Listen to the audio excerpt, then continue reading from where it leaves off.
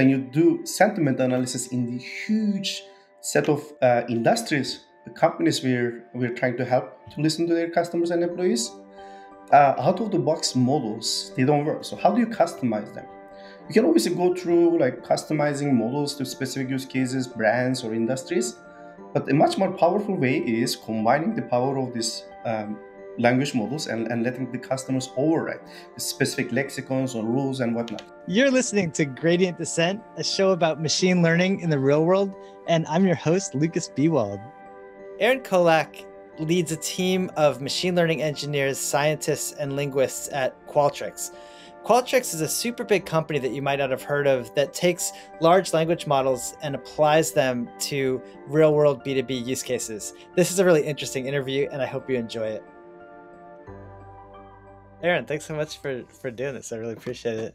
Um, I kind of thought a good place to start would be Qualtrics, and you know, it happens to be a company that I know well because I've worked with Qualtrics for a long time, and you know, a, a real star employee of mine, John La, um, you know, ended up over there, and so um, you know, I know Qualtrics well, but I'm thinking a lot of um, a lot of our listeners will not have, will not know even what Qualtrics does. So maybe you could just start by saying what uh, what does Qualtrics the the company do, and then tell us how um, machine learning fits into to Qualtrics.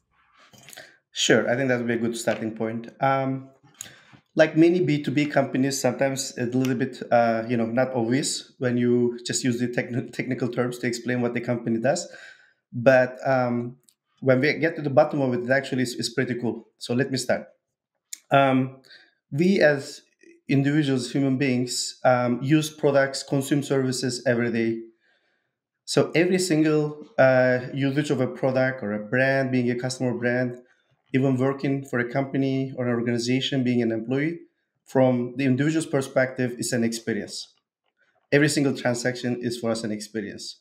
Going to a restaurant, taking a flight, taking an interview, working somewhere for some time is an experience. So um, what Qualtrics is, does is basically giving our customers tools to design these experiences, track those experiences, analyze those experiences, and act on those experiences. So there's four pillars to experience management. So overall, we're trying our customers to help they manage, find, detect, um, and fill those experience uh, gaps. So our company roots started um, a somehow interesting domain, uh, which is surveys, um, especially in social sciences and business schools. Uh, doing surveys is the primary tool to do research. Um, and our founders um, were trying to help their father to, um, you know, build a survey tool and then that it just exploded. Uh, it just became phenomenally successful. And then at the next iteration um, of um, uh, the, as the next level, uh, those users of surveys, students and researchers came back in the enterprise setting with different problems, trying to understand what customers think. And that became our basically, um, we shifted a little bit towards market research and understanding um, customers, employees, and whatnot. And eventually, last few years, um, we've been working on this new category, which is experience management. So um, we would like to think ourselves as founders and leaders in that space. Could you tell us a little bit about the scale of Qualtrics? Sure, that's a great question. I would like to think about scale in um, a couple of different ways. One of them is obviously number of customers we have, and and we have uh, tens of thousands of customers and um, but I would like to think about other ways in terms of actually number of touch points we are going through our systems, number of experiences we are analyzing, and also the diversity of the type of experiences and channels from which um, you can actually track and improve experiences. So in that respect, we our systems analyze millions of experiences every day, and we have different channels and modalities. That's social media channels, or other um, input channels such as surveys, um, text surveys, web surveys, mobile, um, and social media, call center. So these various modalities um, we're actually uh, collecting and analyzing this data from. That is kind of for me one one other aspects of uh, scaling. And so, what are like the really important ML applications to Qualtrics? Is it somehow like processing those surveys in different ways? Like, what's what's what's really at the core? Absolutely. Um, so, as I mentioned, survey is one of the um, and, and one of the most important channels, but it's, it's not the only one. But even in surveys, um, there's definitely a big part of the data that's being structured, and uh, in my opinion, uh, there's experience data is most uh, easily or most naturally expressed in unstructured data.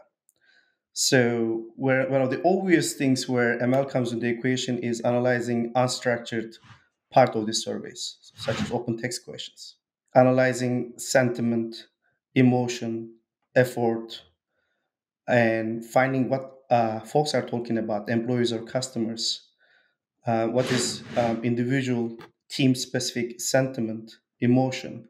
These are the sort of stuff where um, obviously machine learning utilize mostly, but obviously there's other aspects. For example, the minute you go into a call center, then um, comes conversation, which is a totally different beast.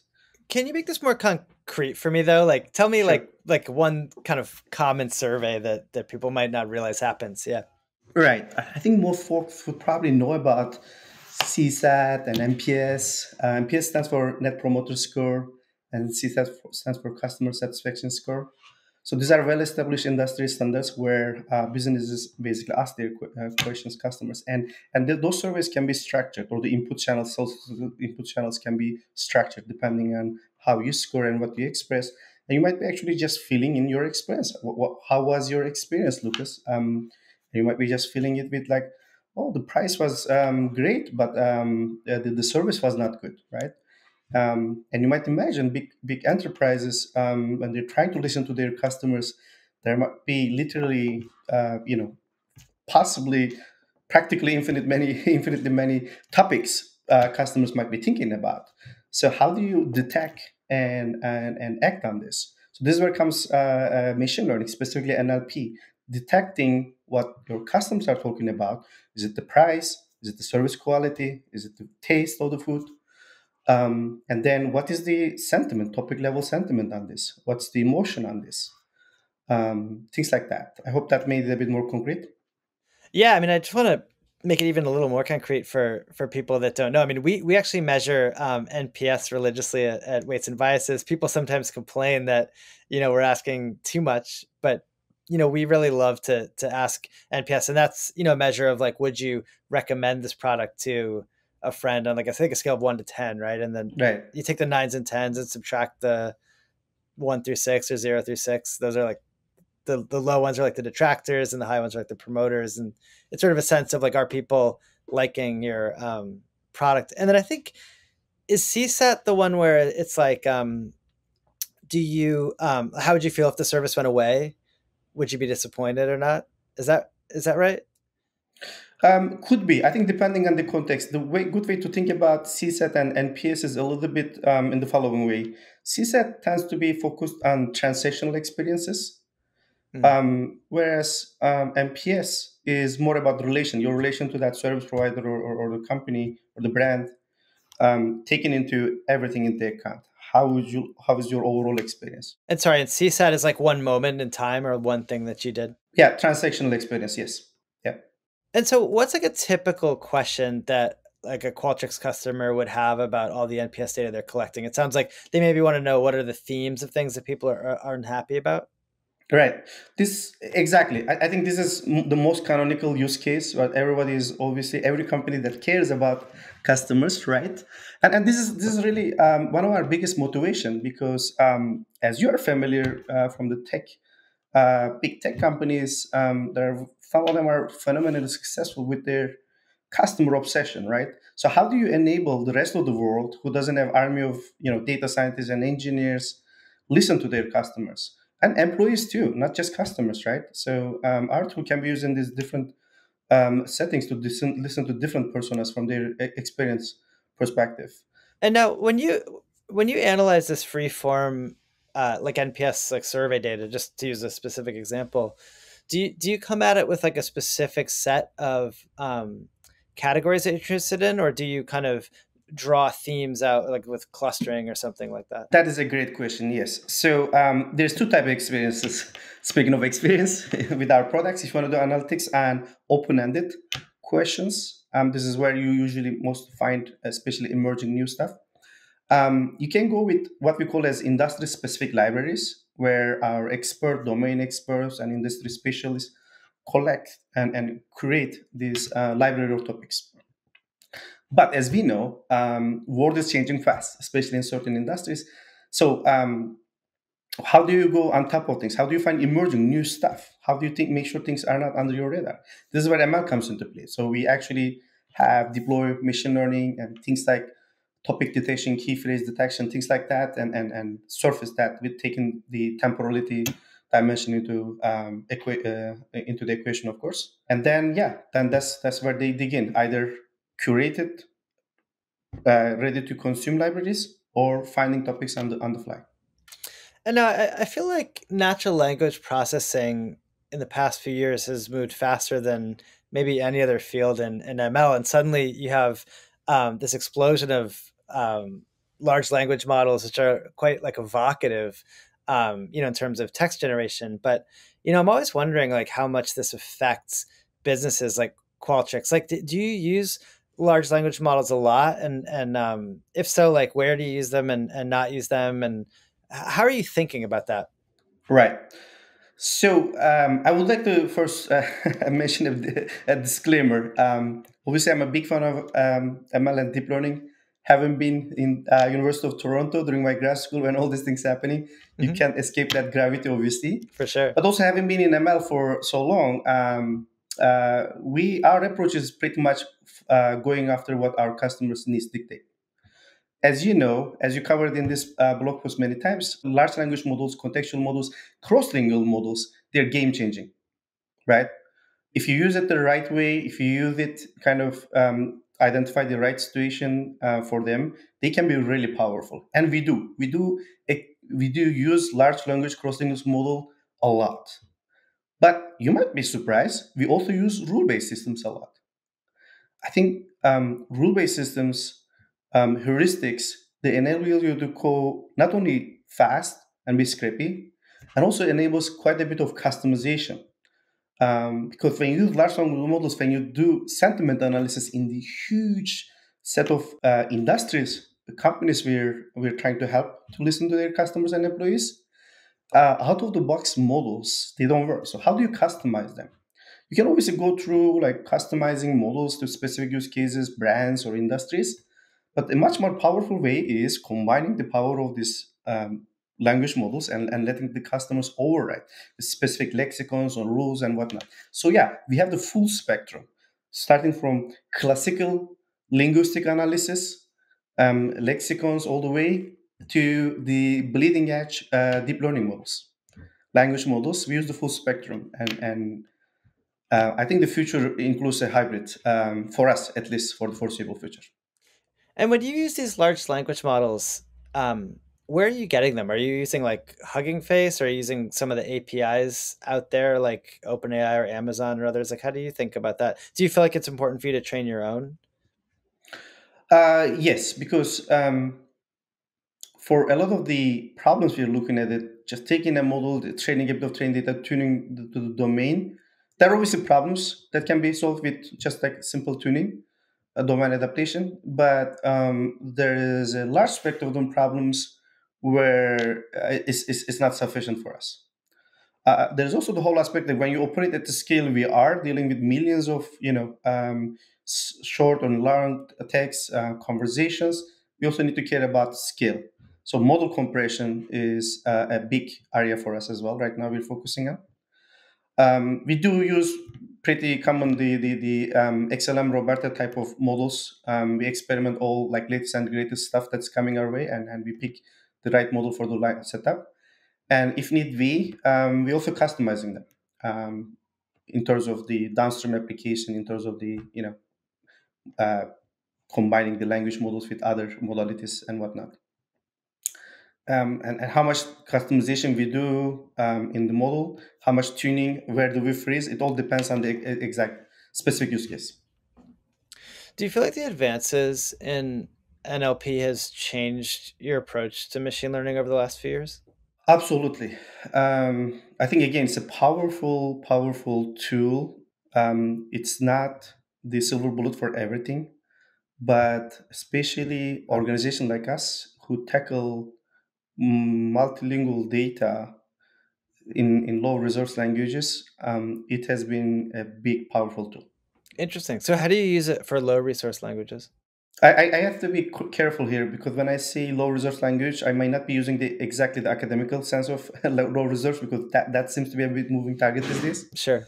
What, what I mean is from our perspective, um, you know, um, obviously every business have a target um, depending on where they operate and what kind of products they're developing, have business priorities in terms of languages they want to ha- handle and and um, the amount of English data, both in terms of raw, labeled, or customer feedback data, which we use to train these models, obviously for English we have disproportionately more English data than say um, even even some common European languages, right? Um, and um, some of the success we got from these models, just purely based on zero shot learning, was sometimes like uh, more than enough for getting getting a POC out there mm-hmm. and then iterating on it because more often than not, um, I don't know, having been in this field multiple times, like getting training data labeling can always be an issue. Like sometimes it's a chicken egg problem. If I have one one product out there, then I will have customers doing some edits for me or, or like you know giving feedback and data. But how do I get there if I don't even have a model working? Mm-hmm. So zero shot in a way game changer in respect because it enables to as long as you set the expectations right, get something out there, make it a win-win situation for you and your customers, while start data pouring in, and you iterate from there, from the feedback, from the uh, you know implicit or explicit uh, labels uh, that comes to your system. Mm-hmm. In that respect, it's been game changing. Um, obviously, when you take practically, um, in the past, if you want to support for a any NLP system in X languages or uh, K many languages, you probably need K many language expert, K many lang- sub teams um, uh, working on those. Uh, mm-hmm. But right now, uh, again, it's not a silver bullet for everything, every use case, but for a lot of the use cases, um, simple investments on small data sets can go a long way. There's also actually um, changing the paradigm in a different way too, uh, Lukas, in my opinion. Um, in the past, when you were doing it, when you were doing an NLP project, every single project, whether it's the same project in different language or a different functionality in the same language, would require almost like from a data perspective, getting like ground zero. You start from ground zero. You cannot share data set pretty much. Mm-hmm. But this cross-linguality, uh, this pre-trained language models combined with cross-linguality enables um, basically doing a lot of uh, new ideas, new project for a fixed amount of budget Mm-hmm. Just because the amount of data delta you need to tune to a new feature or a new language is just just significantly smaller, mm. and that has been for us and for many others. Uh, I know in our industry, uh, I mean in, in technology and NLP space, um, have been changing the way they look at data. Interesting. So, how does this actually work? So, you'd say you have some, um, you know, French language survey results when when you say zero shot, do you mean that you you take some kind of like embedding and put it into some comparable space as the English, or how do you actually approach like the the rarer languages practically? Um, let, us take an artificial problem like a text classification. Mm-hmm. I want to cl- classify to ABC, whatever, yep. A, sentiment and whatnot. We actually uh, share this in our blog post, but um, basically, you train for English. Mm-hmm. Um, say uh, you may have more data on it or label data on it and for French, um, if you have limited data, the least you can do is using that data for testing. How is my zero shot performance, right? Mm-hmm. Um, and sometimes we we have like little data sets this is in these uh, language languages and, and we sound like okay from a test perspective it looks good enough to get or even pretty satisfactory to get um, uh, coming close to the English performance or whatever the pro, like you know performance metric we want to uh, hit. Um, and if they not, you know, kind of you get an idea of how your model is doing, and then that might be enough for you to get a V0 out there and start collecting data from a feedback perspective, because our, our, our systems allow, not all, but some of them are allow us actually customers to give feedback in terms of our predictions. Mm-hmm. And that, that that basically compared to what how we would do this kind of things in not I mean not even like five years ago, um, you had to go and start from uh, from scratch in French, right? Mm-hmm. Yeah, it's really impressive. It just works like reasonably well right out of the gate, typically. Usually, uh, but again, um, some problems sometimes, not all of them. Nevertheless, very uh, very very useful. Do you end up training separate models for each customer then? Like, are you fine tuning new models in every single customer's pieces of data? And, and if you have like thousands of customers, does that create like a huge logistical problem for you? Yeah, that, that's a great question. First of all, a couple of years ago, this even if that was the right thing, it would not be feasible. I mean, practically uh, very, very challenging. But these days, uh, fortunately, uh, hyperscalers provide a lot of functionality with various services in terms of multiple model endpoints and and and asynchronous predictions, batch predictions, and whatnot. So you don't have to have a, a model endpoint for every single uh, language or, or, or, task you have. Um, but we do a combination. Um, uh, we try to use multitasking uh, as often as we can. Mm-hmm. It's, it's just some like a, it's, it's a powerful tool. Um, obviously um, more often than not, you basically uh, get a linear, uh, if uh, proportionally linear uh, return on your on your uh, combination of the tasks. So instead of having n models, you have basically one model doing n tasks, if it is possible, if it's applicable. Mm-hmm. It obviously, from a from a model lifecycle uh, management perspective, it generates its own challenges as well, and that needs to be taken into account in the long term design because then you're coupling models, right? If model requirements change, you need to update one or one task. Um, you don't need. Do you really need to update other tasks? And and how do you think about what a task is here? So I'm, I'm imagining if you have. Let's give a concrete example. Yeah, yeah. Let's say um, you're trying to predict um, sentiment on um, a given text. Um, and you might imagine, imagine um, sentiment um, and other related uh, more nuanced dimensions of, of human experience, say emotion and and uh, and whatnot, or other, other things you want to predict about this intent and whatnot. So same input, and you basically can predict at the same time with a single model. What's the emotion? What's the intent? What's the um, sentiment at the same time? So these are individual tests, mm-hmm. right? It doesn't have to be a single prediction test. It can be a, a classification test combined with a sequence to sequence task. Doesn't matter so, um, but if you're doing this on behalf of two customers, do you consider that to be a single task, or does each customer look like a different task? Yeah, yeah, yeah. sorry. Um, that reminds me, I didn't quite answer your first question. Um, we don't do, um, as I mentioned, for customer um, specific needs, we tend to think in terms of giving customer the full power to customize or override the uh, behavior of the model. Mm-hmm. That is comes through using um, various enrichment we do to the text on top of the like whatever the target task. You can also do all the linguistic enrichments, and you can combine this linguistic enrichment with rules and other heuristics to actually override the model behavior. Mm-hmm. There are some initiatives going on, which I'm not at the liberty of discussing here, but but yeah, we are we are thinking of you know uh, enabling customization on a, uh, on the ML level as well. This is this is not implemented yet. I see, but I guess do you do you does allowing the individual customers to like kind of customize what the models what the, the output's doing i guess that means there's a single underlying model that's feeding the customers and then they sort of override it. That's right right right. Um, that's a good point. Um, that is um, i think i should have made uh, now that distinction in upfront. So we have two types of models. One of them is what you call as universal models. These are models that work for all customers the same way mm-hmm. irrespective of um, who's sending the data. But we have also customer specific models. Mm-hmm. For example, um, we have this um, tool called Predict IQ where you can use experience data, which calls the X data, or operational data, O data, combination of those to build predictive models, starting with churn prediction. Mm-hmm. Um, actually, that's uh, John's, one of John's products. But mm-hmm. so for the Predict IQ, by definition, is a um, customer specific because you as the customer bring your own data, define what your variables are, or let our system to kind of do auto ML and and and and and, and do the do automatically build, train, optimize, and deploy a model for you. Mm-hmm. And as new data comes in, you can actually, in a streaming fashion, you can predict the so customer specific model and universal models. Mm-hmm. But I understood with your question initially by mistake was like, what about these universal models? How do you customize them? So our approach with that is like letting the customer override its behavior, so it's not completely ML based. Mm-hmm. Uh, but there, there is we can envision a future where uh, we can totally completely let customers give feedback and continue to train these models. This, this is this is more on the thinking right now. There is no um, concrete uh, plans or, or commitment on that one.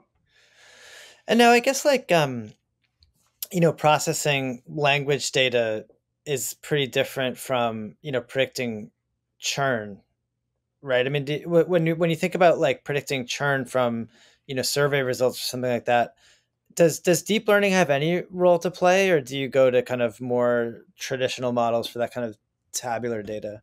Um, that, that's a great question lucas. Um, the, the, the, interesting thing is that um, people have been trying to extend some of these ideas um, that came from transformers to um, tabular data as well. I think there are some variations of developed specifically for um, tabular data, but I'm not convinced that the concept of um, pre-training, which is where the, most of the power I think for these language models come from, doesn't quite apply. At least not in our setting. Everybody's, everybody's customer data, everybody's um, transaction data um, is different. The semantics of it is different. That being said, there is a future which we are investing towards where um, we'll be able to hopefully um, we, we have we, we give our user customers options to schematize their data to map them to a kind of a shared um, schema and when that happens obviously um, things things change a little bit then you can actually envision a future where learnings um, can translate global global patterns can translate uh, from one data set to another um, and what would this mean to map to a schema? Like, this mean kind of standardizing the customer names and standardizing the definition of churn or something else? Right. Not quite that. More like, for example, think about uh, the following. Uh, say um, you have a question about NPS, um, right? Like, um, how likely are you to uh, uh recommend um, company or product X to your friends? Now you can imagine this can be expressed in in in many many different lexical and semantic way uh, forms, right, and different languages. So capturing that question, um, you know, like identifying, hey, this is the same question and this is the same. This is an age question. This is a, a income question, right? That that that is that is basically you're structuring the data.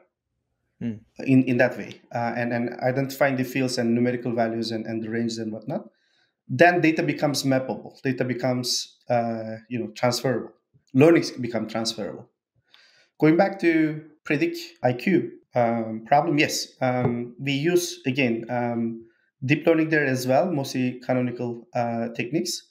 Um, but um, not surprisingly with tabular data um, tree-based models are pretty successful even if they're not necessarily always successful in terms of performance metrics It's just much easier to work with them uh, just because you know they have this natural way of dealing with missing data combining categorical and continuous features numerical features and and, and whatnot so there's lots of ways got it, got it. Um, one way of still using deep learning again in tabular data is obviously even in tabular data there are uh, you can imagine certain questions are still open-ended mm-hmm, um, totally so I guess um, what does yeah. your um, infrastructure look like? Are have you kind of standardized everyone on a on a single machine learning platform? Or have you standardized the um, the frameworks that that people use, or is it is it open ended? I think in many ways we are far ahead from uh, past experiences or uh, from colleagues um, that I know uh, when we discuss about you know ML ecosystem and the state of affairs with uh, colleagues, but um, we have one advantage. Uh, in a way, our ML platform development efforts are relatively new, so we leverage a lot of the um, functionality these days um, are coming from hyperscalers, right? Mm-hmm. Um, couple of years ago, like I mean, um, building an ML platform was a very big deal, right? Being able to support different hardware, different workflows, different personas was even even for a small ML team was a big big deal. These days um, we are using hyperscalers obviously uh, moving a lot of the kind of uh, heavy lifting to uh, hyperscale functionality and most of the work we do is basically harmonizing our data and our workflows and expressing them operation in terms of the, um, our, our platform which is based on tools like sagemaker and whatnot mm. um, but yeah so uh, our current ml training serving scientist work floor, uh, workbenches are all standardized. Um, yet this is a fast-moving field. There's a lot of new systems, right? Uh, there's small and big players. You mix and match, and and try to leverage the best of both worlds. Where do you feel like there are gaps? Like if somebody was listening and was thinking about making, you know, a company to to do some ML tooling, where where would you guide them? Or you know, if our product team wanted to roll out something new, what would you appreciate the most? First of all, having been uh, doing ML almost 20 years now, one of the things I most appreciate is it's kind of a dream coming true for me, seeing such a big ecosystem. Things like, for example, experiment tracking, right? Um, all of for those of us who went through grad school by you know tracking things, um, I always make this analogy. Um, I used to work in computational biology field, and um, a lot of my um, you know uh, collaborators and peers have this really nicely organized um, experiment notebooks, right? And I, yeah. Like, I will never uh, be successful in this field because I'm never organized and, and in files and whatnot. Because we're computer scientists, we can still, you know, write uh, scripts and whatnot to organize even if how messy things are. But when I work today, I see tools like Weights and Biases, um, other tools for you know, uh, monitoring, model performance monitoring. Do you have a favorite performance monitoring tool? Is it is there one you actually that, that you use? Not yet. We've actually narrowed it down to uh, a couple of things, but uh, we are we're still actively working on it. Uh, but my my my uh, point here is that one of the things um, I strongly um, recommend my uh, team is leveraging um, productivity boosting tools such as experimentation tracking. Reproducibility. For mm. me, the biggest gap is still in CI/CD. Mm. Um, for a couple of reasons, because I don't think it's as well understood as other part of ML lifecycle, and there are different personas involved: data scientists, ML scientists, uh, ML engineer, uh, you know, um, application engineer.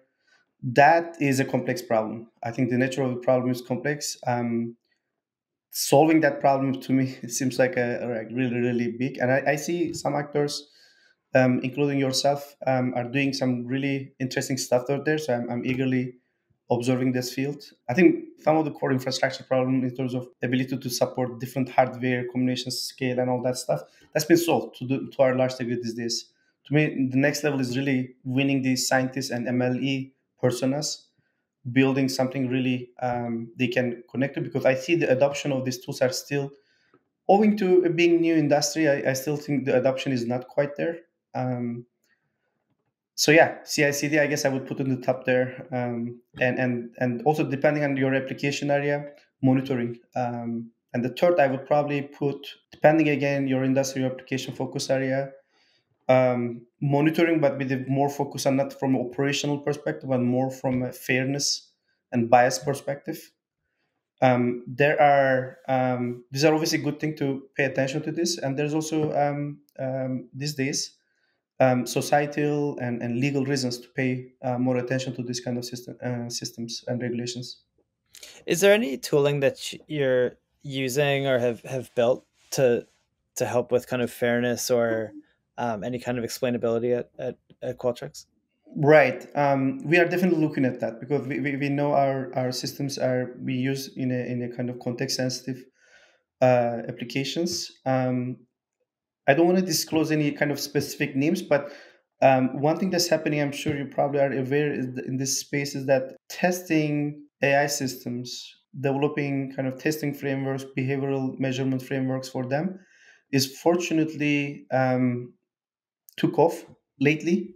So there's mm-hmm. both um, tools from academia, papers, tools, as well as um, industry I haven't seen industry adopting it as much. I might be wrong there, uh, to be frank. Um, there's still, I think, some some way way way to go there. But um, this is becoming we are definitely looking at it we are looking at our, our models how they're behaving under like you know certain for example gender bias either so, social identity biases um, but bias can creep up in many ways right um, so um, this is going to be a continuous effort in our in our agenda hmm.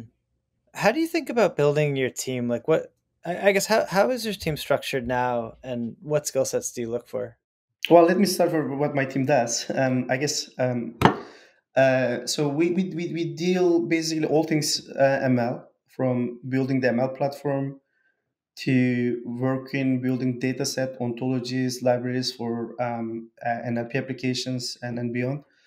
Um, and then um, I have uh, two applied science teams that are one of them is really focusing on NLP, uh, NLX uh, applications um, as I mentioned, we, we discussed uh, a lot about surveys, but surveys are basically solicited feedback. Um, Qualtrics, you would be surprised. We're looking more in terms of volume of the data. Actually, uh, much more text data is coming from other channels, social media and, and, and customer support applications.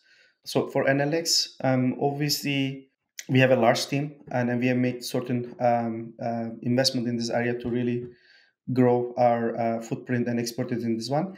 The other team uh, we have is um, focusing more on infusing ML to all our product lines. Um, and that includes more canonical applications of well, from time series modeling, anomaly detection, recommendation systems, um, uh, path optimization, yield optimization, to um, fraud detection, um, and, and things like that. Um, and this, it really um, depending on what business, for example, for NLX, obviously we're looking for subject matter experts, right? Though, as I mentioned, um, as much as we, we love and use deep learning, uh, where we hire deep learning expert, we're also looking make sure our, we are linguistically grounded. So we have a lot of linguist experts who are actually building, um, you know, very um, deep linguistic packages analysis. So to make sure we marry these systems in the right way uh, to solve our customers' need. On the more canonical problems, we're actually trying to have a, a diverse team from a skill set perspective, deep learning, statistics, engineering. That field requires really going fast, solving problems, and not necessarily all the time coming with a new approach or, or bleeding edge algorithms. Interesting.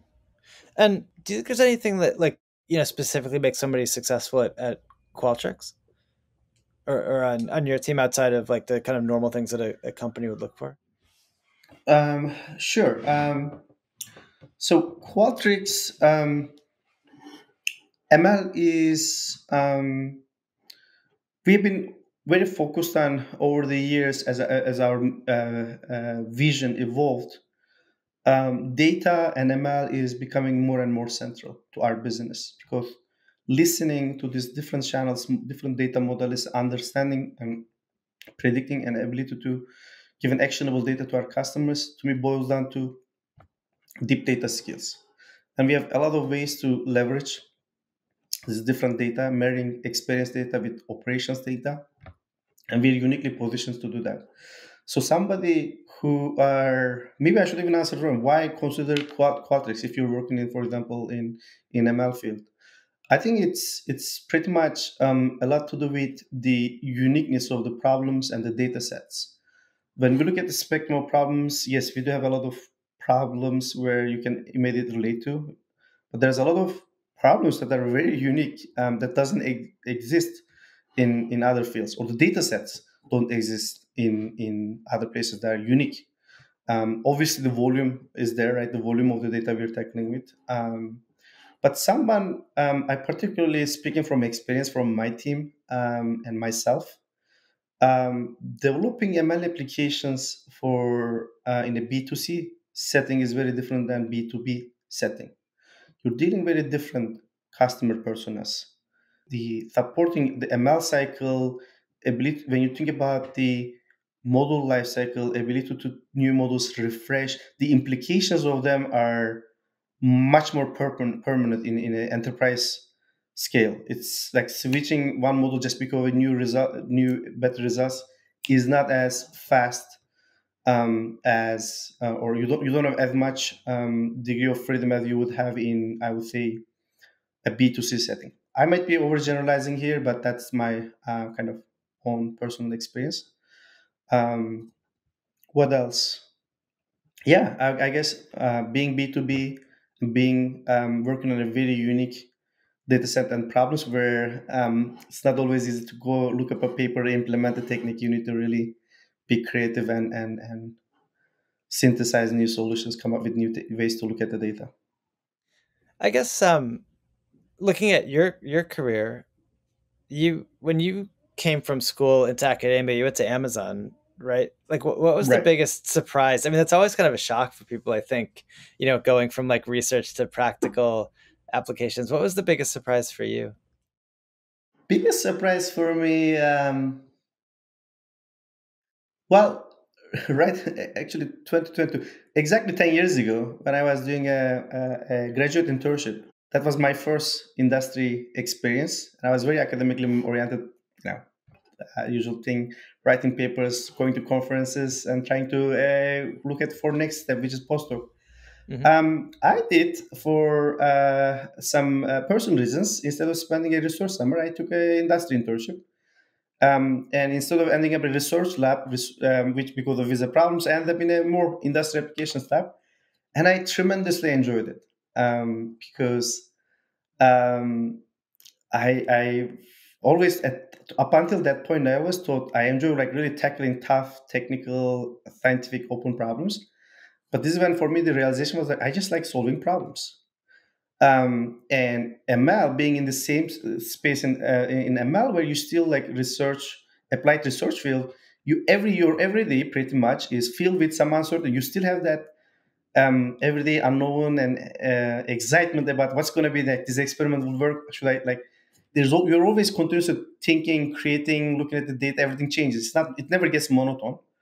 Um, it's just for me it was never like that. Um, and then um, i was making this joke to um, my, my team members but to some degree it's i think true. Um, fastest return for your work. Like writing I've, i have wrote my fair share of papers but here, I see like things going to production. It just gives a different sense of accomplishment, solving problems, and and even today, when I look at what we're doing at Qualtrics, um, helping our customers solve their customer problems, I think is an amazing feeling, and and and that just keeps me going, um, and and focus on staying with problems, even though sometimes the data or technical problems might be very challenging. You, you just you know you you you are.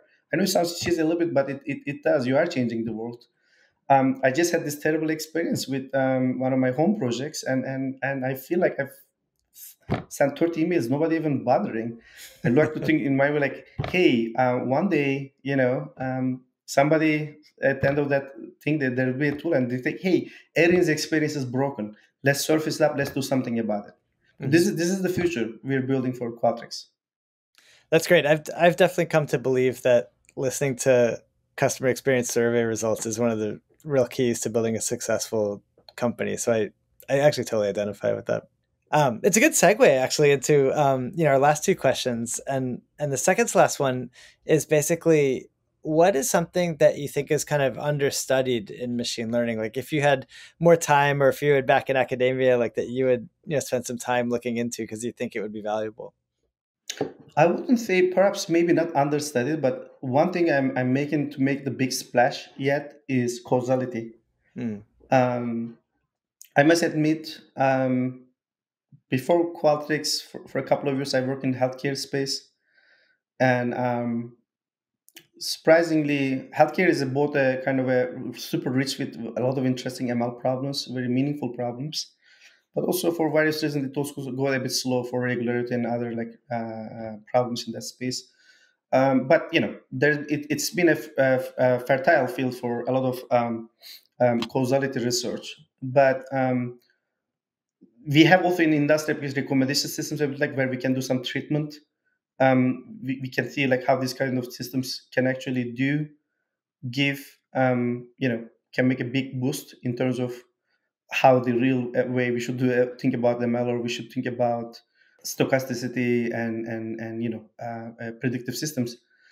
But um, one field just because of the sheer complexity of obtaining treatment data, we need to work with observational data in most settings.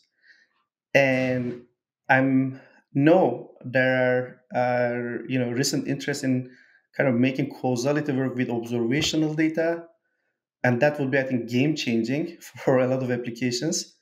Um, but I, maybe it's not uh, uh, not enough investment in done in that field, or it's just fundamentally a hard problem that we, we need to be patient about. I don't know, but that's one field where I'm uh, keenly observing on the side. Sorry, waiting for yeah. Interesting. And I guess final question when when you think about going from like an idea of a new application to to deployed working in production, what's the biggest bottleneck? Ah, uh, the, the the this is a classical question. Um, is this a really a classical question, or is this just a question I ask all the time? well, classical. Oh, I'm sorry. sorry. Maybe classical is not the right term. Sorry. Um, like the the, the question. Uh, the question. Yeah. Question, right. Question, yeah. Um, the reason is that we, we, know um, ML is um, everybody excited about it. ML has proven its value, right? But um, is ML delivering at the um, scale it's been invested in? Probably not. There's all sort of market research reports out there about showing um, how much ML is failing, why it is failing. I think this this boils to that question. Like you know, um, most of the time it's from going from that proof of concept to production. Um, to me, um, in my uh, experience, um, depending on the settings you are, uh, there can be a couple of reasons contributing that. One of them is structural, probably. Um, and this is where most most common case I have observed in my experience from startups to enterprises to hedge funds to other places. So um, it really requires um, if you're working for ML, unless you're doing platform work, really, if you're working with a working ML for a product feature, that requires um, a really close connection with um, the ML, ML folks with the product folks, right? I've seen time after time ML folks go build models, not co- cognizance of the underlying production constraints and whatnot, solving sometimes even if, not the problem that's that the product requires, right? And that can, that's not specific to ML. That's that's like that's a system design problem. You go design the wrong thing, or you design the system that's not uh, with respect to the uh, constraints that system needs to work with. Them. What particularly becomes problematic in ML is that um, if you have, don't have really that structural uh, place, um, structural support processes in place, um, scientists, especially those working on, you know, not maybe canonical application, but like a bit more deeper technical problem space, uh, they can actually, they usually don't know what having a model in production looks like from productionization, from latency, from input, from output, from monitoring, from system design perspective. The way we solve it in Qualtrics is that we empower ML engineers. ML engineers, they know ML, they know they're engineers in heart uh, by training, um, and we include them from the get-go. Like they're in the from conception all the way to the product launch. So they moderate and play a very critical role between how this model is going to be used and what's being designed and moderating that. To me, that's the essential role machine learning engineer should play. There's obviously very biased opinion because machine learning engineer or data scientists and applied scientists, I don't think these are universal definitions. Every company go with their own way what's going on. But I've seen that when you don't have a kind of a, um, a, a person who understands both domains well and get involved from the process in place, and I'm not even counting all these um, uh, infrastructure issues, right? I've seen places where they're trying to do NLP in, in you know traditional microservice architecture and places like that. You don't have the right architecture, right? Uh, even those, if you have the right infrastructure, I think it boils down to having the right people with the right skill set and having a process, really um, clean process. So you don't have basically everybody doing everything. That's where things start to break down. Um, that's that's how we do in Qualtrics. We have uh, dedicated roles for specializing uh, different aspects of this process but working always together end to end. This is what we call as the trifecta model. A machine learning engineer, trifecta model. Um, um, so the machine learning engineer, the product engineer, and the ML scientist working together. Mm, I see. Cool. Awesome. Well, thanks so much. I really appreciate your time, and uh, it's, it's fun to talk to someone who's deploying so many models in production, especially at a B two B company. You, you know, you don't hear as many stories of those. So, thank you very much. Yeah. Thank you, Lukas. If you're enjoying these interviews and you want to learn more, please click on the link to the show notes in the description, where you can find links to all the papers that are mentioned, supplemental material, and a transcription that we work really hard to produce. So check it out.